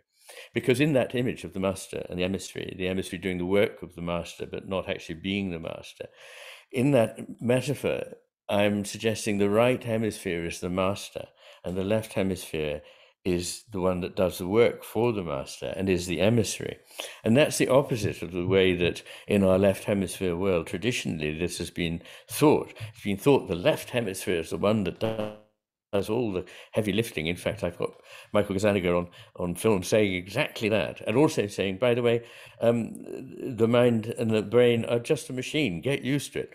Um, I, I respect enormously his work. He's contributed so much to our knowledge of neurology, and he's uh, an honourable and honoured man. But I don't accept this particular philosophical um, turn, this reductionist turn. So, um, anyway, there we are. I mean, I think these things are important because they are the they are what we need to survive if the world is going to survive at all, and for us to fulfill um, what it is to be a human being. I start this new book, um, The Matter with Things, by asking an ancient question, which was the question of Plotinus in the third century AD. But we, he says, who are we? And it has that lovely resonance so you can feel a man who's really thinking about this speaking. He doesn't just say, Who are we? He says, But we who are we? Like, what is that? And I think that is such a profound question. And if we had a proper, sophisticated, life fulfilled answer to that question, we wouldn't be destroying the world, we wouldn't be destroying our society, and we wouldn't be destroying ourselves. Do you know, uh, Iain, when I read um, a lot of the work done by I mean, yourself, by people like Sass, a lot of phenomenologists, um, even if you think about people like Heidegger, um, a lot of the type of language we use, I mean, especially if we're talking English right now, it's very difficult to convey the type of ideas you're trying to express. Uh, so I, yes. I, I, I, almost pity you in that sense. It's almost as if had we had a, be, a better method of communication, uh, perhaps Sanskrit or, or maybe even German, since it's such a good one, that can give you more information per sentence, per punctuation, whatever. Uh, that you'd be able to express this a lot better. Do you feel that that's the case? Do you feel that when you express your views to people, they just don't understand it because it is just too difficult linguistically to express. I'm sure that's right. And in fact, when I was about 26 and had uh, finished the manuscript of my first book against criticism, um, I was talking to a colleague uh, at All Souls in Oxford who was a great sinologist, expert in Chinese literature. And he was a, a lovely and very wise man. And when I was explaining the difficulty I had in trying to make certain points in English in that book. You know, why is the implicit so important? Why can't it be made explicit and just still be the same? And he said, you know, for all these problems you're you're facing, the Chinese have words that express these different things that you're trying to get at. And you know, for a while I thought, okay, Either I follow my initial inclination, which is to leave the secure position as an academic and go off and be a medical student, or I go and learn Chinese. And anyway, history tells that I did the, the medical thing, not the Chinese thing. But, uh, and of course, I don't know any Chinese at all, but I do know enough uh, written by people who do know Chinese to be able to use sometimes the language uh, the concepts in Chinese which we don't have. And I, I think you're exactly right to say Sanskrit too. Uh, in fact, in many languages other than uh, Western languages, and in some ways, English is a very flexible language. It's often said that it has many words for something that other languages sometimes only have one word for, but it can work both ways. And my experience is, perhaps because I'm more aware of it, because uh, my native language is English, that I'm often uh, uh, struggling to be able to translate a, a, word I understand perfectly well that's used in German, but we really don't have an equivalent to it. Mm. And in fact, when I first started going to Germany in my late teens, which was a, another amazing experience for me, it was almost like being reborn. I don't know what it was, but I just thought, my God, this is a whole other way of thinking about the world. It's so rich. But what I um, what I felt was that you know it's often the case that German has more words and that we have simplified things. Mm. But there are examples the other way. I mean, one terrible thing in English is that we only have one word for to know. Mm. But just about every other language has at least two words. You know, for to know a fact like that Paris is the capital of France, and to know Paris, like I lived there for several years, so I know it, um, and we don't. But equally, you know, in German, the word Geist means both spirit and intellect, which causes some sort of uh, problems of translation sometimes. But no, you're you're dead right. that the language is against it, and so you need to try and get across the findings of phenomenological philosophers, and that's not terrifically easy because mostly they didn't write very well. Um, Heidegger is not really somebody you go to for lessons in how to be lucid. and in fact, I think he says somewhere that he's deliberately obscure. And some people would say, yeah, I've always thought he was phony, but that's not quite what he meant. What he meant was that unless people are made to go the journey themselves, they don't understand what it is he's saying. So you have to actually work to understand it. And to me, this is like if you've been driven a route any number of times, but you weren't the driver, you can't really remember it that well. But if you've driven it even once, you really remember it. And I think it's something more like that. But what I found easier is Scheler, Max Scheler, um, who was um, a contemporary of Heidegger's, um, somewhat younger and, and died earlier. Um, but he and um, and Henri Bergson, who's not, who's been uh, shamefully neglected, and is all the things that are said about him are, are, are mainly wrong, rather like the things that people say about the hemisphere differences hypothesis. When um, sorry, I, I just lost track of what I wanted to ask you there initially. Um, there was something specific, but anyway, when you're talking about your travels, there's something that I thought about. Um, I think I did read at some point that you you you worked at Stellenbosch. Was that Stellenbosch, South Africa? Were you were you down here? Yes, it was. Oh. Yes, they offered me um, a, a, fellowship at the Institute of Advanced Studies in Stellenbosch, yeah, and it was a glorious. How was your time? A couple of months. Stellenbosch is actually where I got yeah. my degree from, my med- medical degree. So, so. Uh, at least the alma mater. How wonderful! oh, how wonderful! How wonderful! How was your time here? What are you, what are your yeah. thoughts on the cultural differences here? Because I mean, this place is very culturally dynamic. When you think about it, a mixture of of, of African culture, Indian culture coming in. I mean, we often we came in as the slaves. My ancestors came in as slaves. So there's Eastern traditions mixed with Western traditions and African traditions. Yes. Um, in terms of yes. hemispheric differences, how was your experiences? Yes. Well, I mean, I wasn't there perhaps long enough to make any profound philosophical observations. Um, although, on first principles, I think that a, a, melting pot of that kind that brings together so many different strands um, uh, is is very interesting and, and rich. Um, I felt slightly sad that the the relative freedom of people in South Africa since the overthrow of apartheid and all that had not resulted in the sort of um, uh, empowerment or uh, that's a, a, word I don't very much like, but the the the sort of um, emancipation of uh, of particularly black people in South Africa, yeah. and that much really, in some ways, hadn't changed. That should have changed. Sorry. Yeah, yeah, exactly. I agree. It's almost as if it hasn't been solved yet. I mean, they are clear. They're, they're distinct no. roads where, on the one side, you've got mansions moving across, and then on the other side, you've got these tin houses. We call them shacks. Yes. Just on the other yes. side, just across one road. That's how deep the segregation no. still lies today. So it's it's pretty. Yes. No, no, I know. So it's a shame that actually very little in that respect has has altered much. Um, also, I'm and the levels of crime are worry. Um, I have to say that. Uh, I know people who've really uh, suffered horrendous crimes in South Africa.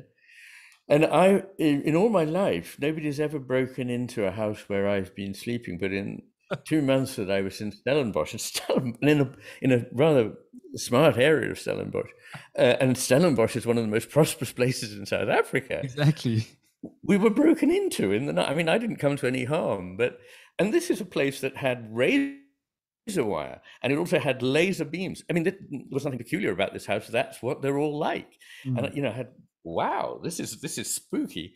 And I probably did things I shouldn't have done. I walked around at night, you know, on my own, and people said, "You did that?" And but I tell you what, I just came away with a very, very nice, very, very warm feeling, and it was partly also that it is a sensationally beautiful, natural scene there. I've never been anywhere in the world where it is more beautiful than the Cape. Yeah. Um, and we went up to oh I can't is it Karoo? Is it called Karoo? Yeah, the Klein Karoo. The, the yes, Karoo, yeah. Um, and that of course is different again, and stayed in one of the kloofs, you know, these great ravines.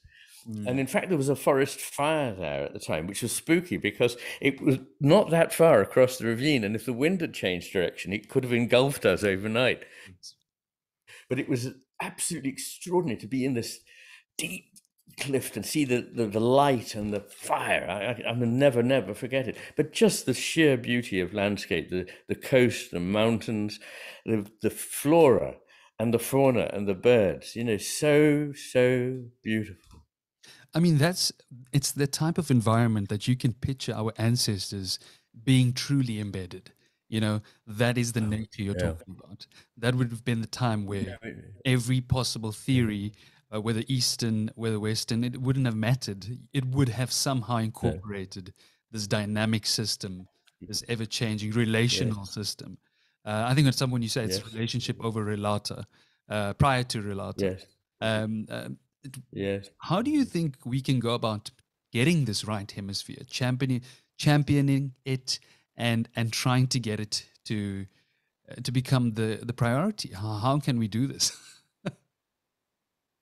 It's a tough one. well, it's it's a very good question, and I'm sure you don't expect me to have half a dozen bullet points, but and, and I'm going to disappoint you if you did because I don't have them.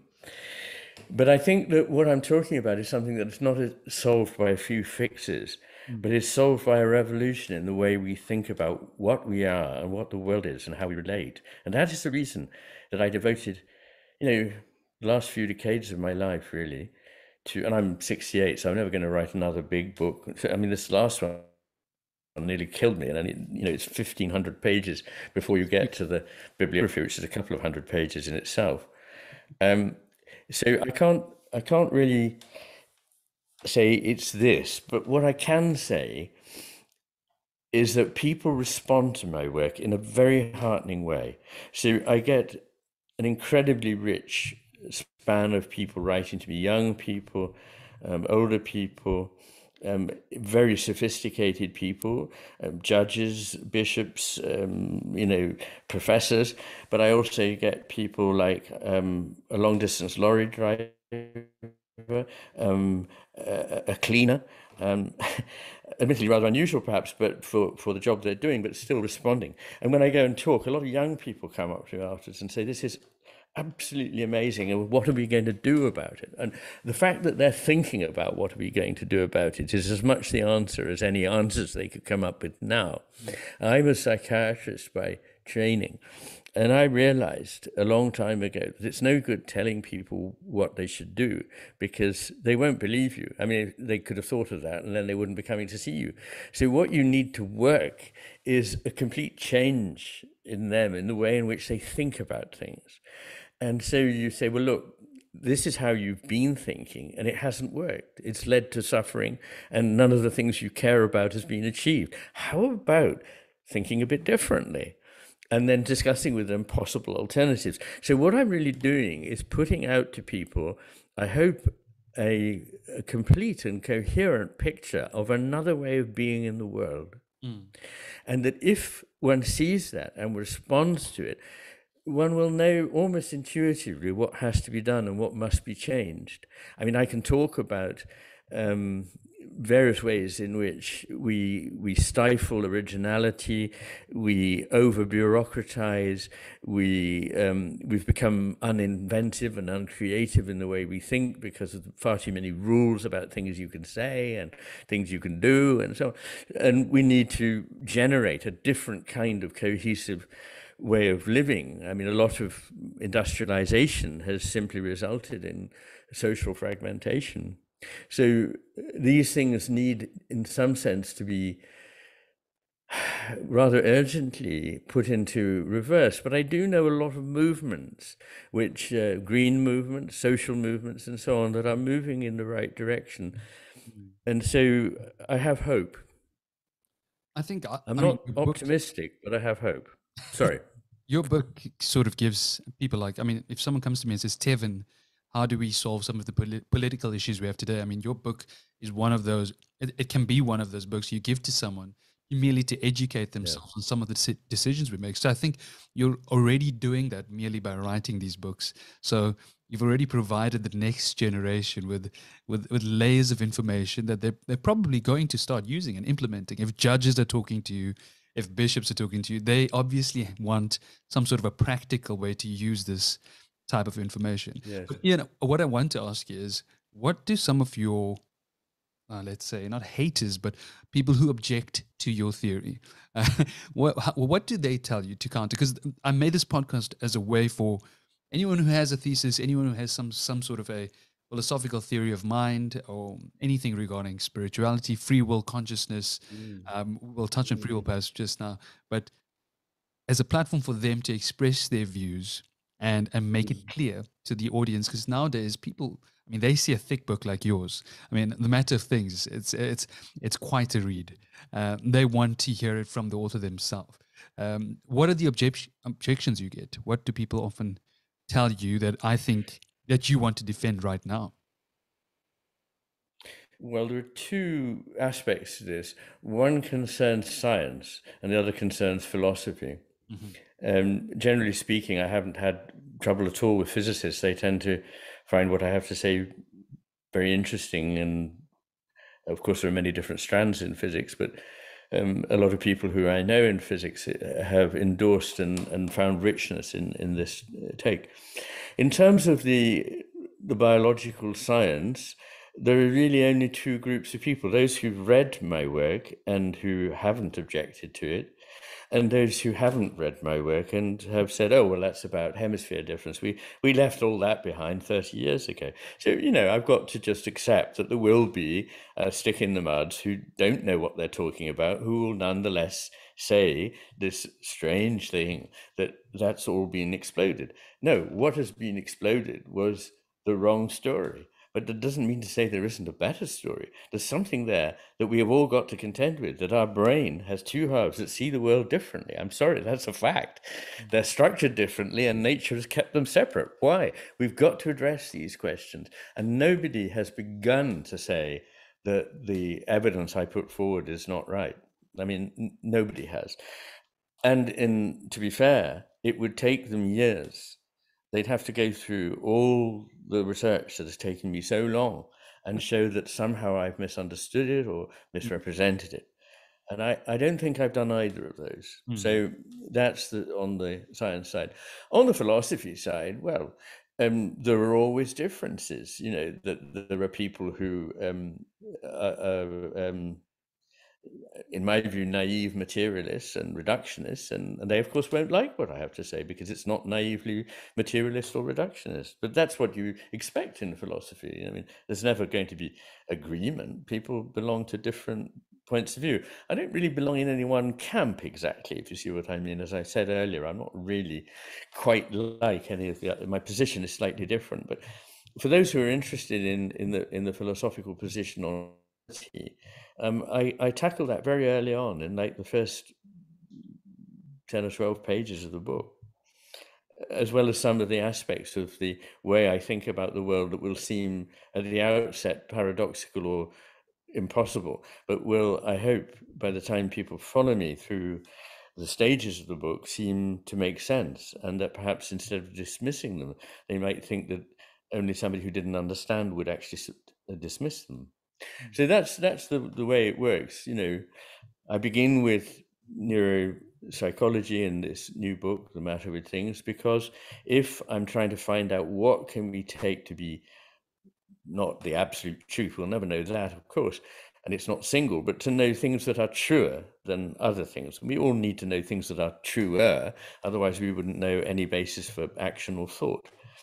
And if the two hemispheres are presenting different worlds, then we need to evaluate those worlds. And I do that. And it's very clear that if we have a choice and we have a marker which shows that this is the characteristic imprint of the left hemisphere trying to solve this problem, and this is the characteristic imprint of the right hemisphere trying to solve this problem, we know which one we should favor. And then the second part of the book, I look at what you might call epistemology. In other words, how do we understand and come to know anything? And I guess that I, I, you know, I say most people would probably think that one of the ways is through following the science, one of the ways is through using reason, and another is using intuition or imagination. And I look at all four of those, and I suggest that no one of those, or even two of them on their own, are enough.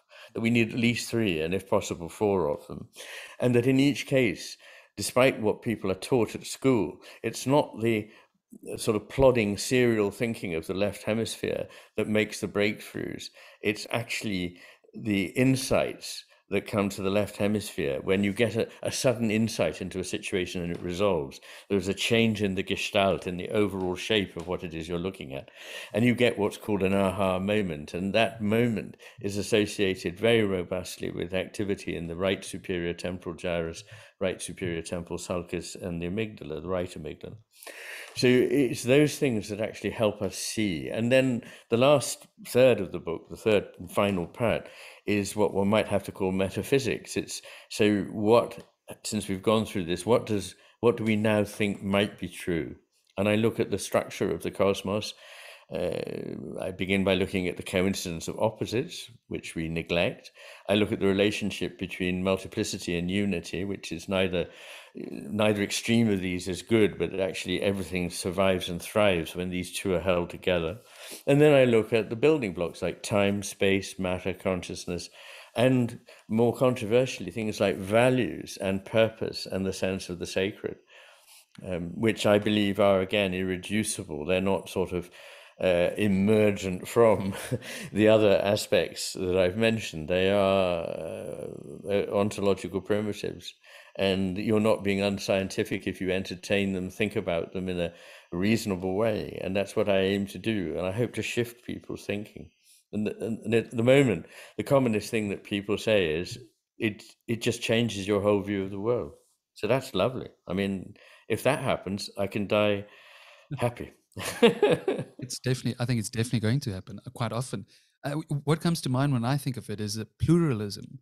This is a very pluralistic approach to to the environment, uh, taking it all in, making making this very relational. Um, that's what comes to mind. But but where I was headed was what you just uh, discussed, and this is a two-parter though. Um, uh, Iain, what were your spiritual slash religious views prior to you coming through this journey and figuring out all the things you've you've realized over the years, and what are they now? Is the first part, and the second part is mm is how do we look at this this world in the divine sense? And and um, how do we create meaning purpose? What i mean what is the purpose of all of this? Well those are huge huge questions uh, to bring up at the last minute but um, i mean the first thing i would say is that i don't think that meaning and purpose are created simply by our minds. I don't think that they are inventions. I think they are discoveries. In other words, that they are intrinsic and we can fail to see them by adopting a very simplistic way of thinking. But every people in the world until now in the West have thought that these elements were very important aspects of the fabric of the universe, which I believe, in fact, they are saying exactly what they are, particularly in the, in the case of the sacred, is a very difficult thing to bring off. And the last substantive chapter before the epilogue, the one that's called The Sense of the Sacred, and which is over 100 pages, so it is a short book on its own. Nothing I've ever written in my life cost me more grief, uh, more trouble, more time than this, because on the one hand, I knew that it was a foolish thing to try and talk about it at all, because all those who've equipped themselves to know about it have said, have given the same warning. This cannot be reduced to words. The Tao that can be named is not the real Tao. And St. Augustine said, uh, si comprehendis non est Deus. If you understand it, it's not God you've understood, which makes a rather a nice pair with Richard Feynman's. If you understand quantum mechanics, you don't understand quantum mechanics. So our language was built for everyday purposes. It was for practical purposes. So when we get into the more rarefied areas, we don't have words, or at least we, we do sometimes have words, but the words may be more of an obstacle than a help because they may encourage us to think that just by having a word, we now understand it. But I need to problematize the ready understanding of what God is. And I don't, I can't say what God is. I mean, I'd be a complete fool if I even tried to. I think that there is something in the, which is central to the, the business of the universe, which one can find no other term for than the sacred or the divine. And I know, as you know, I take great pains to examine things and see it from different points of view and discuss different positions on it. Um, uh, so I, my my thoughts about it didn't change during the writing. They started evolving in my teens, um, and to give some context there very briefly, I came from a home in which nobody talked in religious terms whatever. My parents never went to church and weren't interested in that. I think my father um, thought it was all rather um, silly and you know childish or something like that. Um, but then I began. Uh, I went to a school which it's not a religious school, but it has a very long tradition and was founded actually to produce, uh, in the 14th century, to produce uh, priests, monks, and bishops. And uh, some of that lingers on in the architecture and the way of thinking, which is to be open to these things, not to see them as obviously wrong or to be dismissed. And um, I met a lot of very impressive people who clearly did believe in something that they called religious or divine or sacred. And I thought it was extremely important. I thought they were the wiser people I met. I thought they were people who knew how to respond to the beauty of sacred music, to the beauty of sacred architecture, sacred poetry, and so on. I didn't think that they conformed to this archetype of, of fools. no, they seemed to me quite the opposite. And at one point, I actually thought that I would probably um, uh, leave university and go into a monastic order. I thought that probably this was the most important thing I could do with my life. Um, fortunately, some common sense entered, and I realized I was a very bad um, individual to take on for any monastery. I wouldn't really conform properly at all, and I liked too many worldly things far too much. So I decided not to do that, but carried on a philosophical and theological quest, which is very, you know, has resulted in something that I can't say what it is, but I consider that to be a very benign outcome. I think that it's when people can say too glibly and too fluently what it is they feel about this and what they believe to be the case about it that we're more likely to run into trouble. Not always, but quite often. Mm. So I'm very impressed by the what's called the apophatic tradition in spirituality, which is the belief that you can't say what is the case, but you can say what is not the case. And actually, that is exactly the way that science progresses. Science can never say this is the case. Science can only say that according to the um, the the model or the paradigm that we currently espouse, we can say that this is not the case. This is also not the case. What does that leave us with? We're narrowing things down.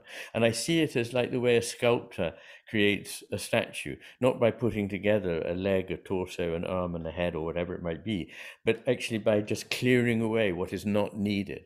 And it's that clearing away that is meant by the very different kind of enlightenment, not the 18th century European enlightenment, which which was a very positive step in many directions. This great problem was hubris. It thought that it knew everything, and it certainly didn't.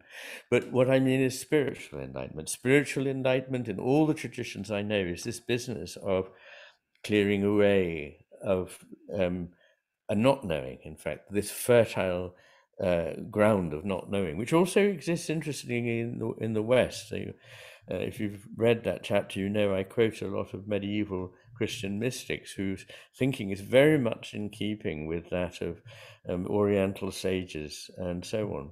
And perhaps I could just mention that this idea of the master and his emissary, of a wise uh, force that sort of knows and can lead us towards something good and positive, and another resentful, less knowing force, which thinks, unfortunately, that it knows it all and wants to usurp the place of the master.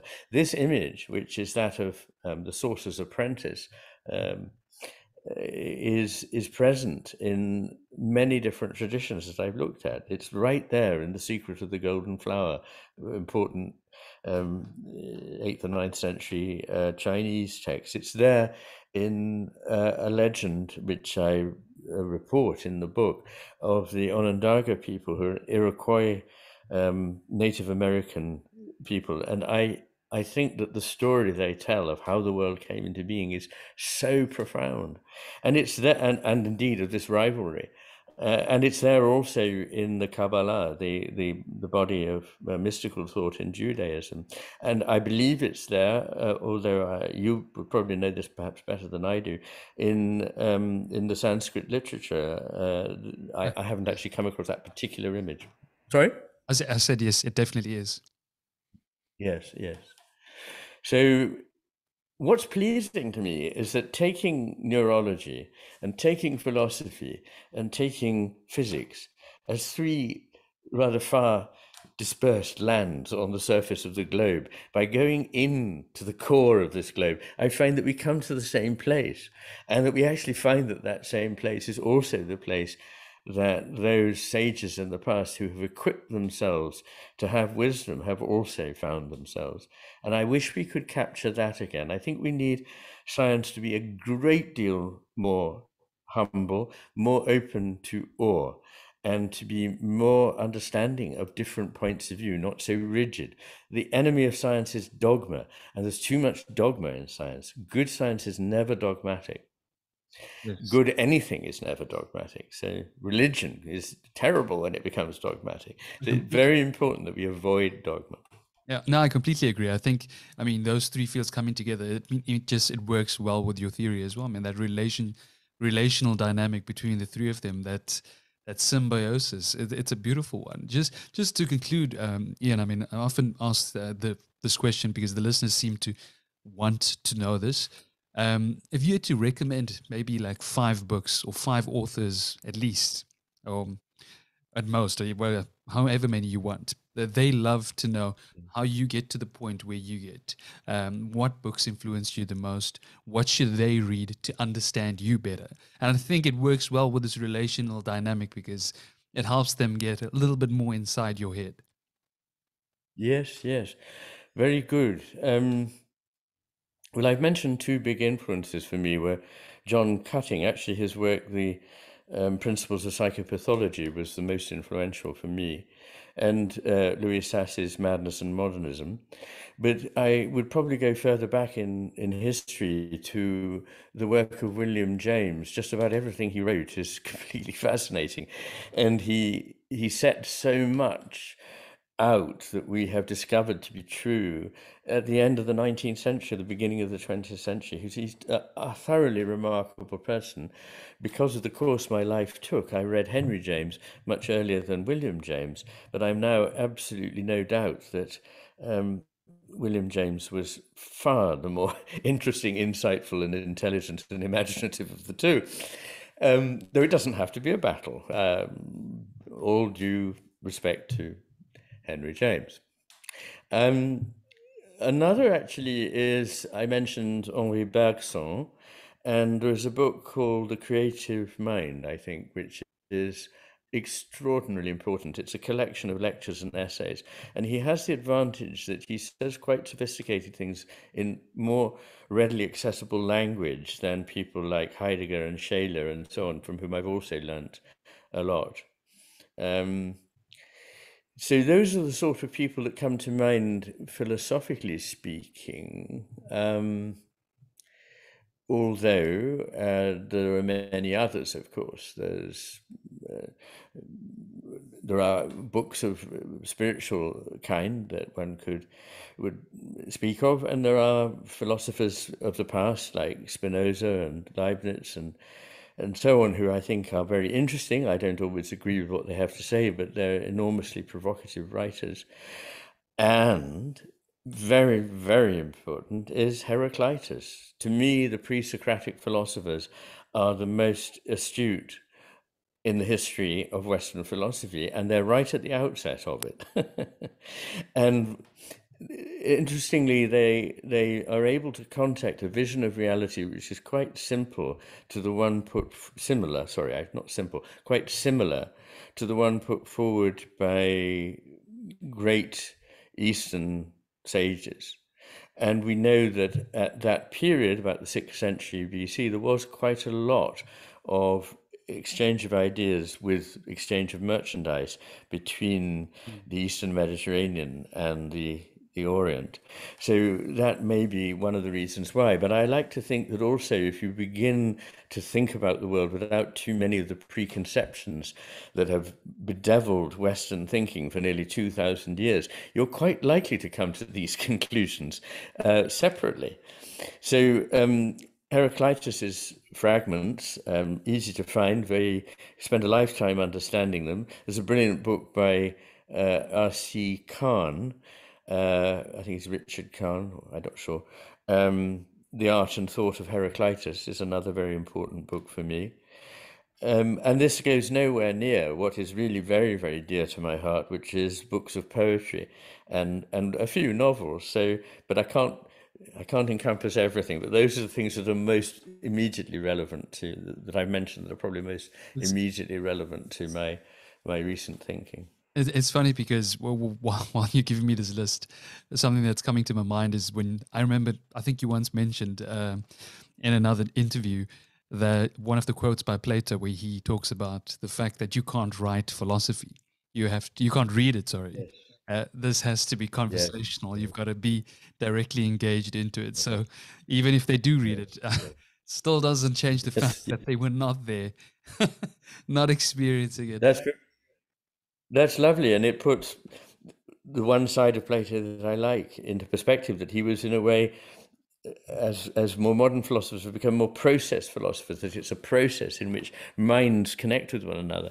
And in his seventh epistle, Plato describes this way in which you understand another mind is by living together, and then a spark leaps from one soul to the other. He says, and it starts a fire. And that actually is my experience of reading the people who have been influential to me, and above all, the people who taught me who were influential, is that they were in one sense on fire. That they talked about what made them tick, what made them excited, what made them feel that they were close to something in, that, about which they were profoundly interested and enthusiastic. And that is the way teaching should be, not this business of, you know, there are six things you must know about this, and if you can recite them, we give you full marks. That's no way to educate anybody. exactly. I mean, just having this conversation with you has changed, obviously changed me so much. I mean, these interactions fundamentally change our neurochemistry, um, we, we become different people once we leave this conversation. So we're both fundamentally affected by each other right now. And the listeners, absolutely. Are, I mean, you came in very high. By the way, this is just an extra note, uh, just before we conclude. When when I put out a post of someone I should interview, you came in very highly recommended. People were uh, very intrigued because this because it's. I think it's mainly because of what we discussed. This difficulty for you to express it due to the language. But yeah. I think you've done an excellent job. Is there anything else you'd like to say to conclude before we end, Iain? Apart from a very big thank you, um, that I'm I'm very pleased to think that gradually, whatever it is I've got to say of importance, I think there are things that probably are that people are beginning to respond to them in the way that they are. This is how life progresses, and this is how life is passed on from one to another, and it's it's wonderful to feel that in some small way I'm part of that.